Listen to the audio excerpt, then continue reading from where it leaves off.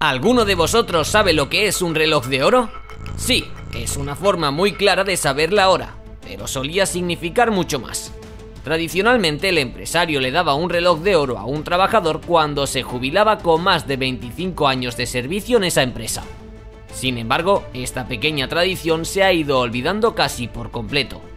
¿Por qué? Bueno, tal vez sea el aumento del precio del oro o la adopción de métodos alternativos de cronometraje pero lo más probable es que se deba simplemente a que la lealtad a la empresa es cosa del pasado.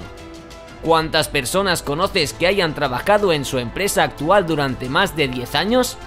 De acuerdo con la Oficina de Estadísticas Laborales de Estados Unidos, en realidad es el 29% de las personas, pareciendo además una cifra sospechosamente alta hasta que se supo que una gran mayoría de este grupo está formado por trabajadores al borde de la jubilación lo cual es importante recordar para más adelante.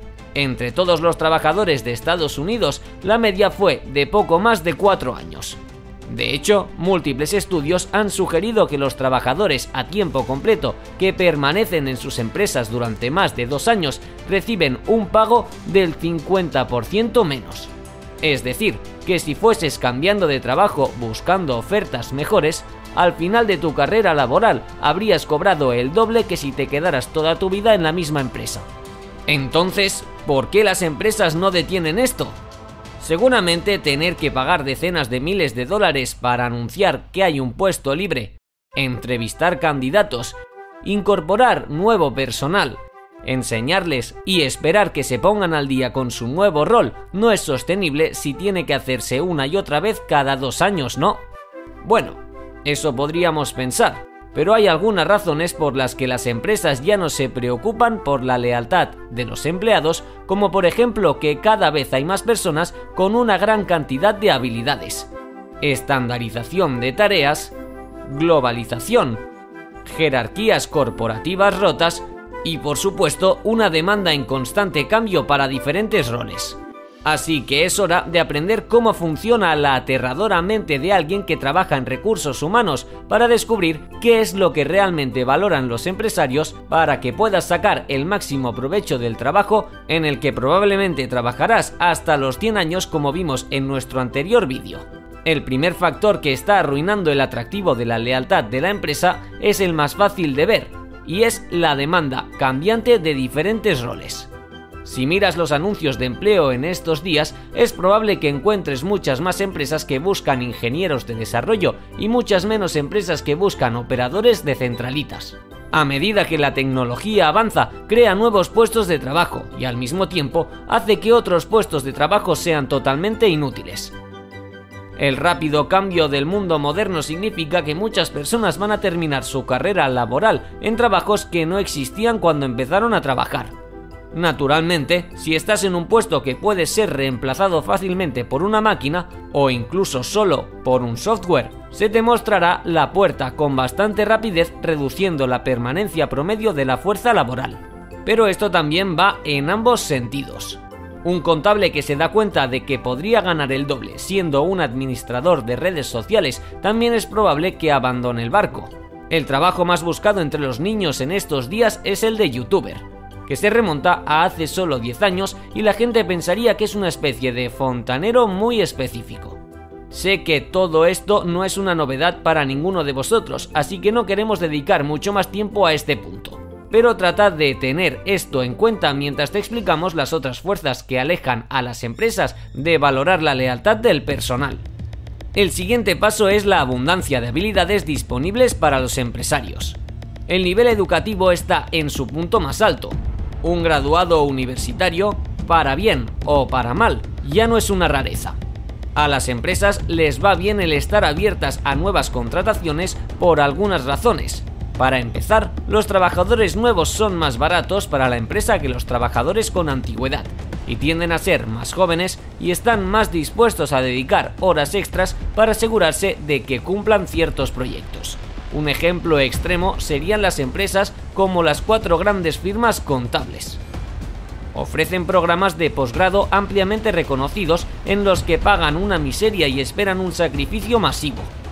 Los ofrecen con el entendimiento mutuo de que casi ninguno de estos graduados permanecerá en la empresa y buscarán puestos mejor pagados con un equilibrio entre la vida laboral y personal una vez que hayan cumplido con sus dos años para contar con esa experiencia en el currículum. Un reciente informe interno encontró que Deliot tenía una tasa de rotación de personal de alrededor del 13% anual lo que podría costarle a la empresa 427 millones de dólares al año en gastos de contratación y capacitación, así como cosas intangibles como retrasos en los proyectos debido a la huida de los trabajadores. Esto suena mal, pero ambas partes saben en qué se están metiendo aquí. Deliot obtiene una mano de obra barata y esos jóvenes con disponibilidad en trabajar de más pueden incluir este programa de posgrado en su currículum para poder obtener un trabajo mejor en una empresa normal.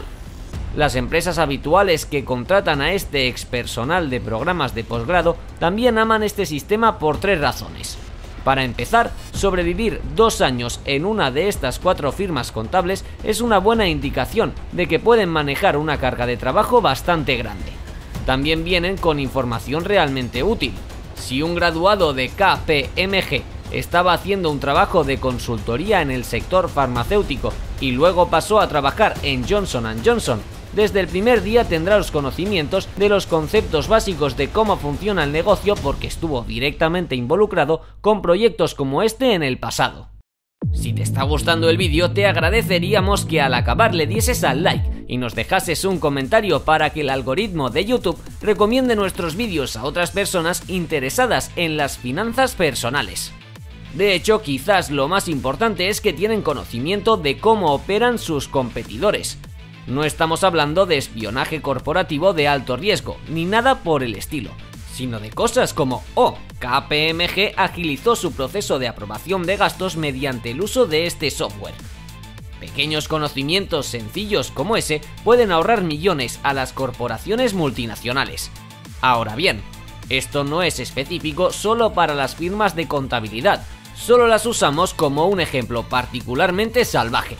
La verdad es que las empresas saben que la mejor manera de mantenerse en el clima de su industria es asegurarse de que tengan un suministro saludable de talento que llega a sus propios competidores. Esto se vuelve aún más impactante si se considera el papel de la globalización. El aumento del teletrabajo y un aumento masivo de migración cualificada significa que el grupo de talento entre el que las empresas tienen que elegir en casi todas las industrias es amplio y profundo. No es raro que las empresas anuncien incluso puestos de nivel de entrada por todo el mundo, especialmente porque de todos modos ahora casi todo el mundo trabaja desde casa.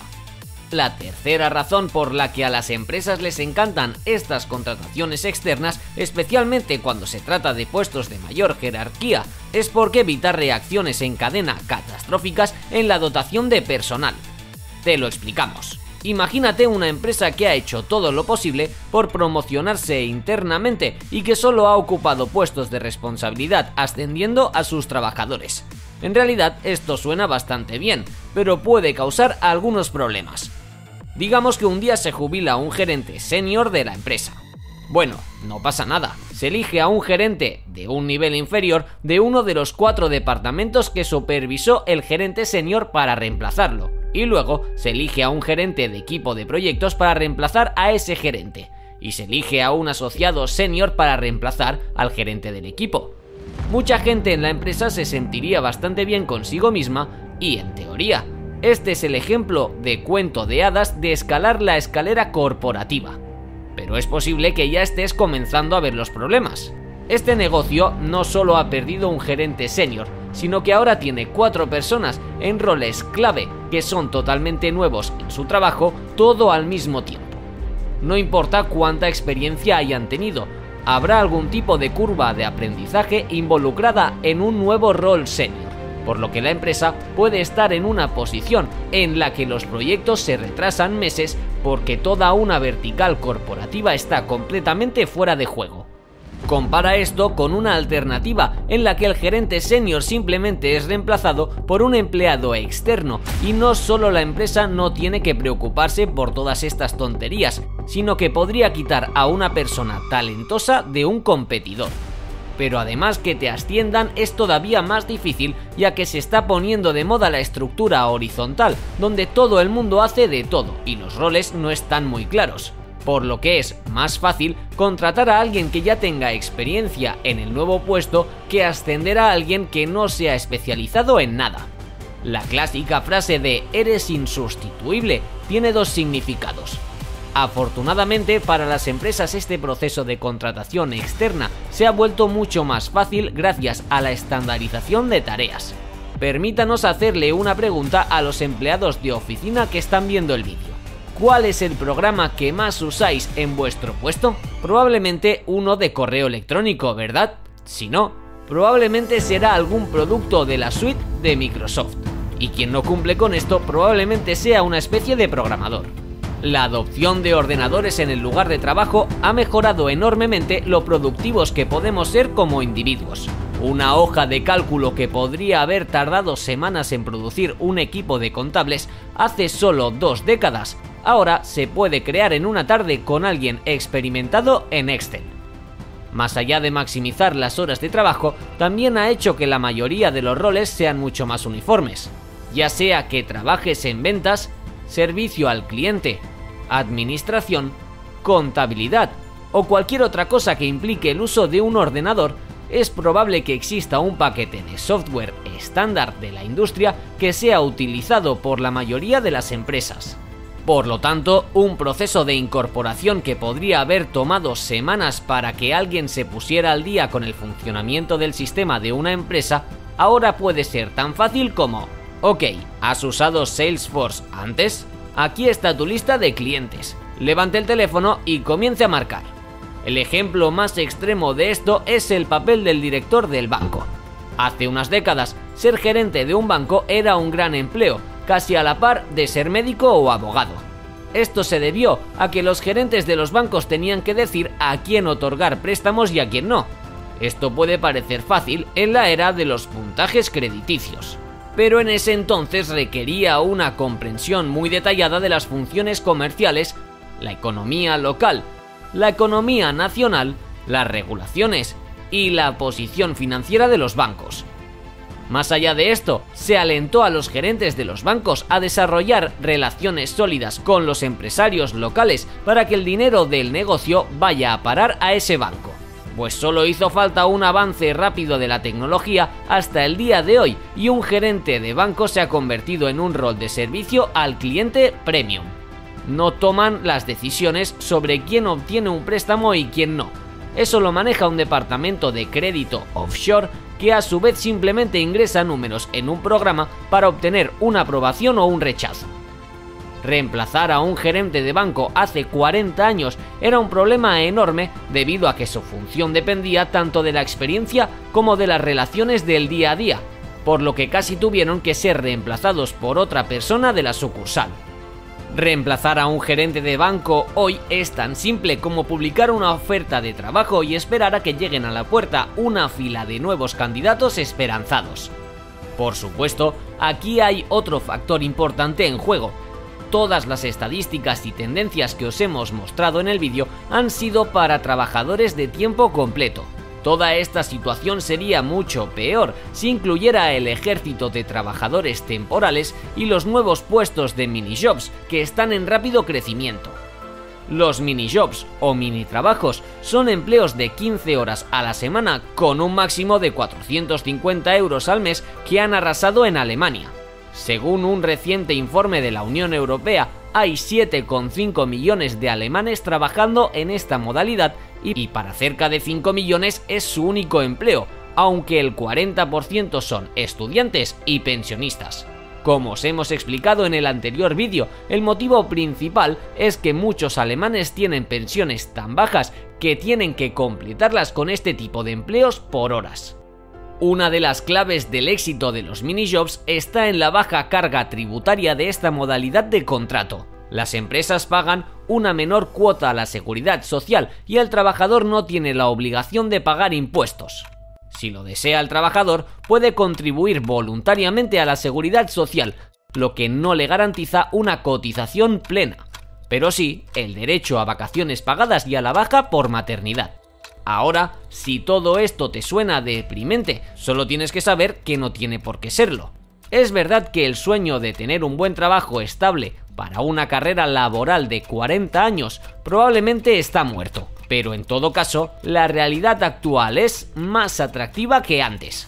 Las empresas están ahí para sacarte el máximo provecho hasta que aparezca una alternativa mejor, y tú estás aquí para sacarle el máximo partido a una empresa hasta que aparezca una alternativa mejor. Cambia de trabajo. Las estadísticas no mienten. Será mejor para ti. Como hemos visto, la única forma de ascender en la escala corporativa es saltando entre ellas. Sí, los empresarios van a tratar de fastidiarte. Son un negocio, no son una organización benéfica. Así que fastidiales tú a ellos, mantén ese elegante perfil de LinkedIn, acepta cualquier certificación o capacitación que tu empresa te pague y no te engañes pensando que será recompensado por su lealtad, porque simplemente no lo serás. Esperamos que te haya gustado el vídeo y si ha sido así, te agradeceríamos que nos dejes un comentario para que el algoritmo de YouTube nos dé más visibilidad, le dieses al like y suscríbete si todavía no lo estás, que a día de hoy es gratis. Nos vemos en el próximo vídeo. Un saludo.